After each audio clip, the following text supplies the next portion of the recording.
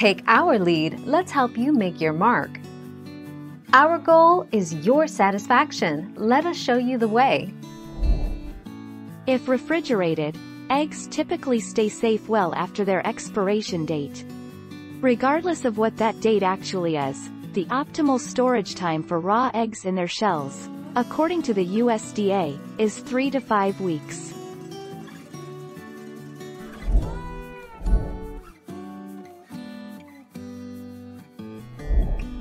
Take our lead. What happens if I eat expired eggs? If you eat expired eggs by accident, your main concern should be salmonella poisoning.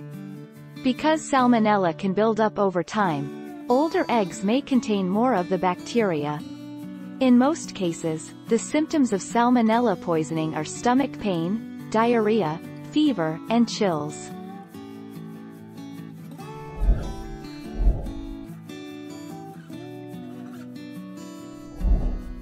Take our lead. Thoroughly cooking an egg kills all the harmful bacteria.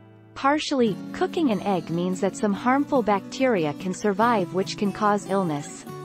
Both undercooked egg whites and yolks have been associated with outbreaks of Salmonella Enteritidis infections. Thank you for watching. Please subscribe and hit the bell notification.